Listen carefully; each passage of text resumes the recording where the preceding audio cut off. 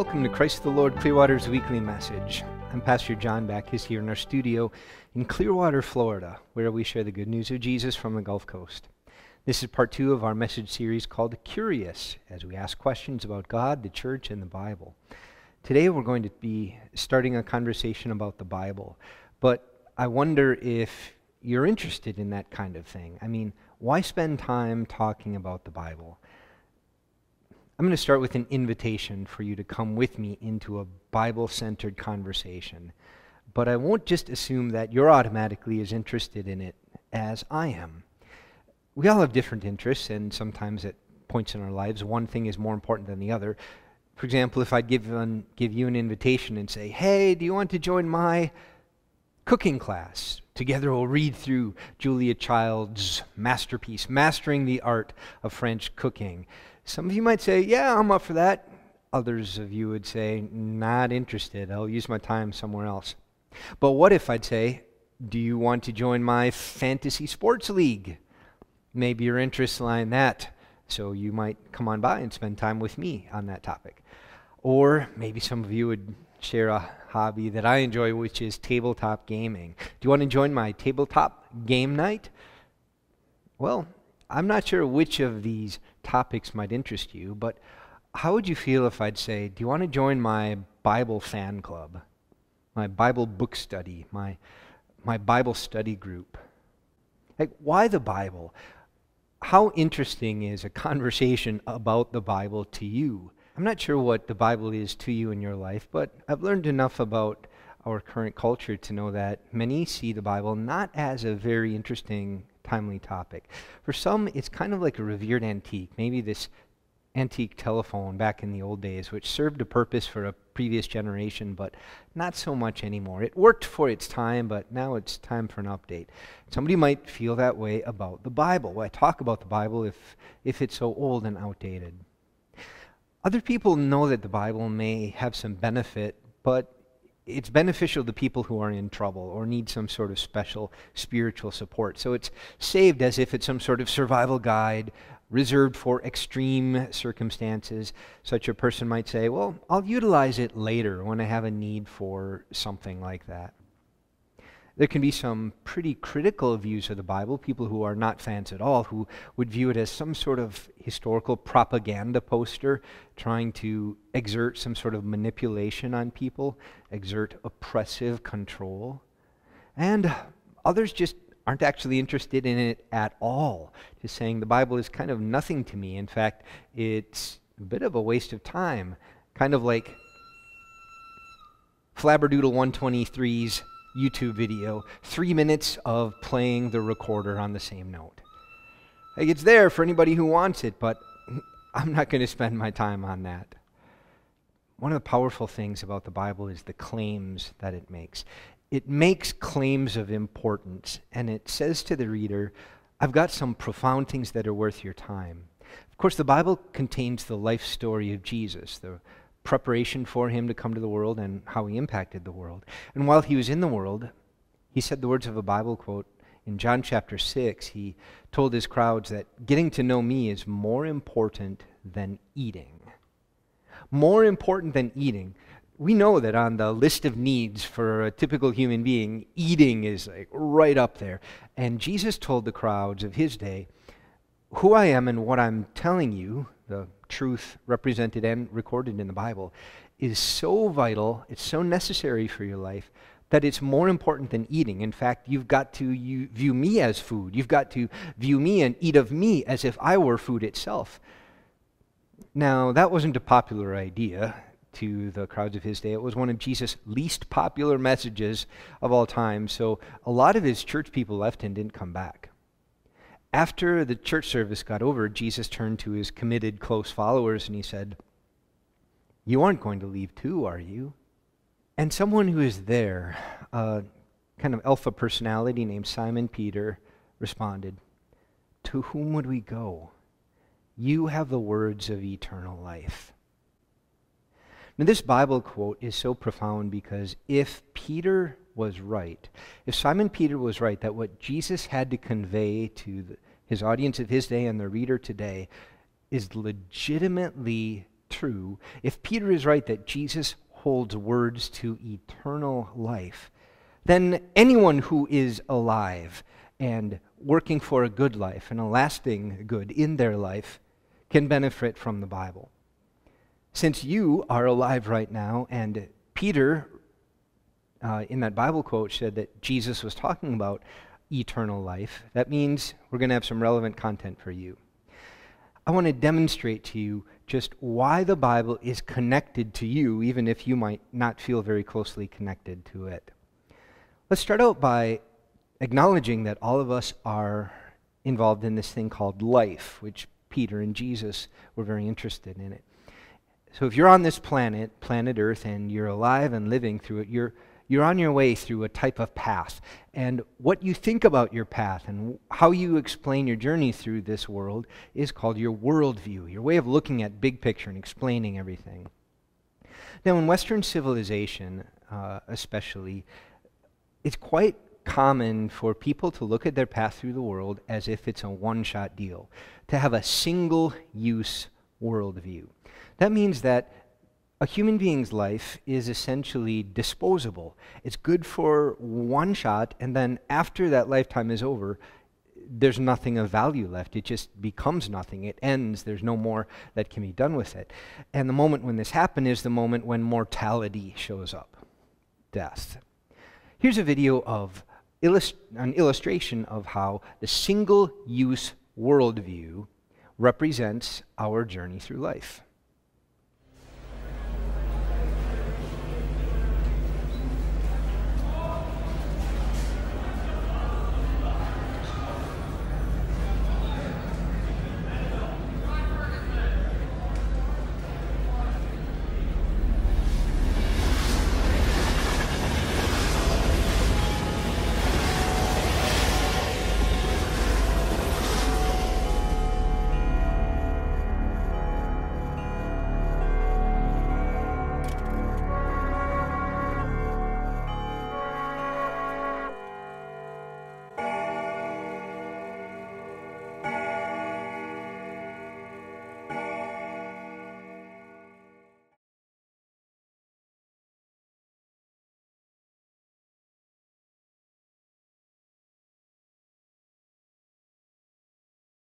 You can see that there was a point where that train went off the edge and it became dissembled. And that moment was the moment of its mortality. It was done being a train.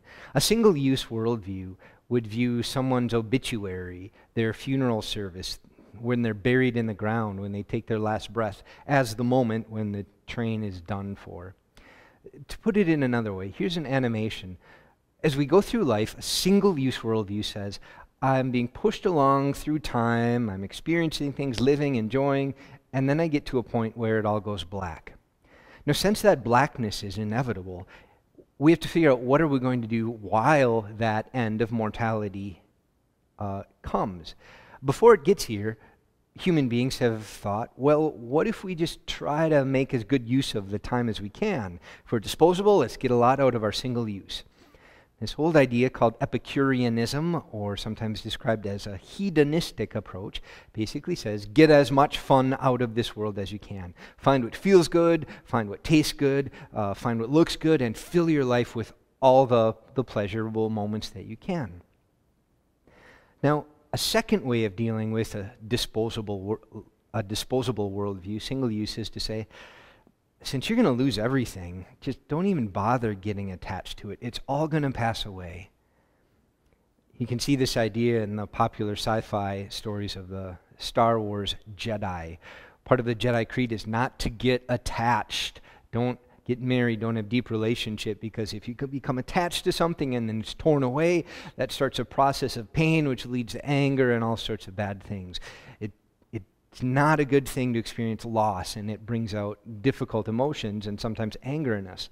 So, the second view is the view of the Stoic, who says, just don't get too attached. It's the wisdom of somebody considering getting a new pet. And they know that they are likely going to vastly outlive their new pet.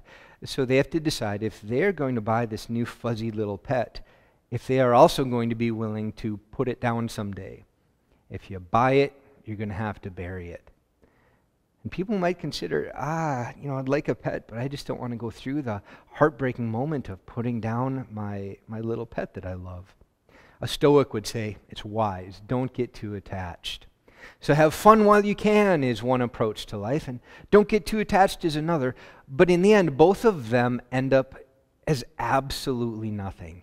In the end, it's irrelevant how you use your life if your life just becomes a, a, a piece of disposable garbage at the end. If nothing happens but darkness and decomposition, you just turn into dirt, turn into space dust, or turn into nothing at all. What you do while you're here in the end won't matter. You're a single use, disposable life.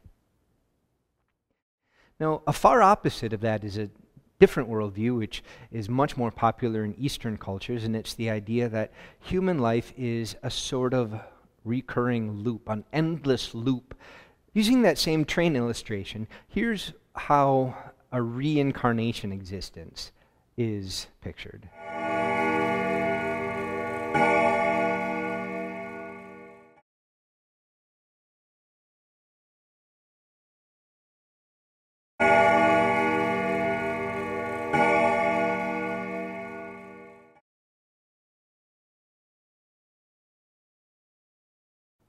See, there's a moment of mortality there when death comes and the train ends. But in, in this video, something happens. Mortality, dying, isn't the end of the road for the train, but the train is reset. Part of the endless loop worldview is that existence right now, living existence, is you on a loop. And every time you go through this loop, you have a status or rank that's based on how well you live out your role in the loop. And when you die, that's when your value is determined. And if you made good use of your previous life loop, then your successive one will see you promoted. You'll receive a higher rank. It also means that if you don't do a good job with your life loop, you'll be demoted or given a poorer rank. One of the challenges of this worldview of an endless loop is it essentially says to a person who's in a lower caste in society, who may not be well off, may not be good looking, may not be healthy, may not have good eyesight, may have all sorts of problems, that based on the idea of merit in each loop cycle, the person who is having a hard time dealing with suffering or a lack of success in life is guilty of causing it.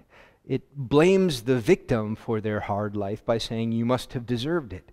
And it tells those who are good looking or successful or wealthy or in positions of power or influence, even if they're born into it, that they deserved it because they did something good. And so it robs, in a sense, the, the compassion that can unite humanity by by viewing someone in a lower social caste or a lower, level of uh, success or attractiveness or achievement and saying, you're in a low place in life because you're a low value person. So these are two very contrasting worldviews. One says one use and then you're done, you're garbage. And the other says you're just stuck in an endless struggle and you better perform well or else you're going to be demoted. So perform, perform, perform, climb, climb, climb. Interestingly, people who have a worldview aren't always consistent. We don't always live out life the way that our worldview would ask us to. Let's take the single use disposable worldview.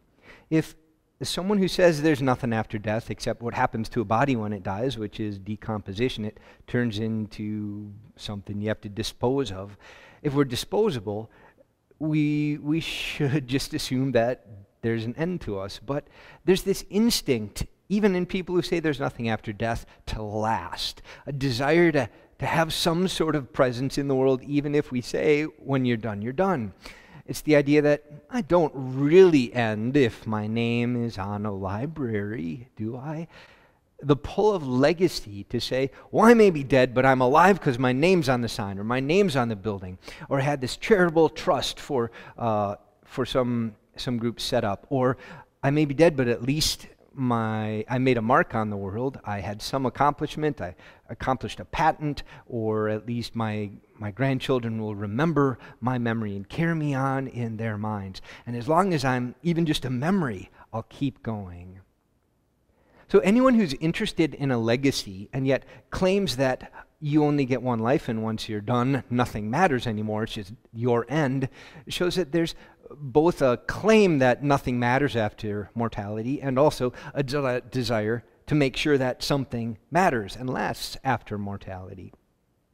So, these worldviews, trying to figure out what is this path we're on through life, is a big reason to be interested in the Bible. Because much of what the Bible is centered around is the meaning of life and where we are going, what we're trying to get to. That's why when Jesus talked to his disciples, you're not going to leave after that sermon about the meaning of me in your life. Peter said, oh, Where would we go? We've discovered that you have the words of life eternal.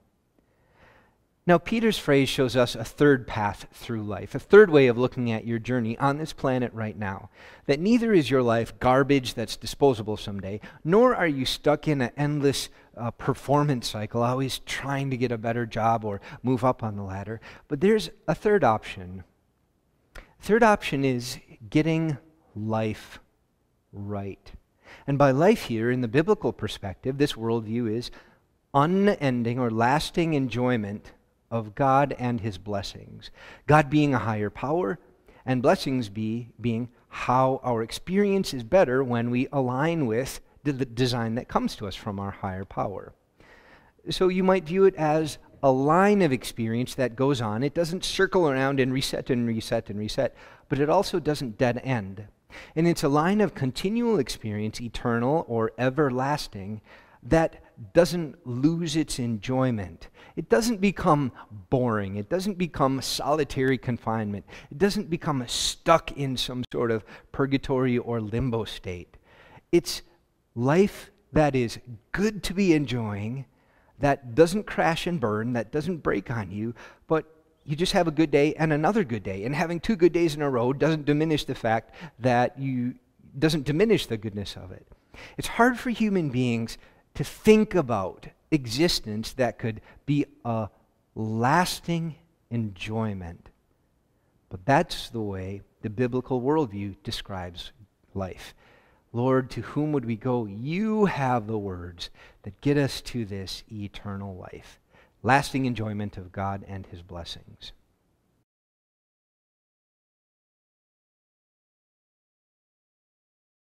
In this world, there are only a few sources of knowledge that exist that offer information on life's biggest questions. There's not that many original philosophers, and there's not that many uh, sacred texts that claim to reach into the deep questions. There's only one source of knowledge in human information sources that exists, that demonstrated in good eyewitness history a solution to life's biggest problems.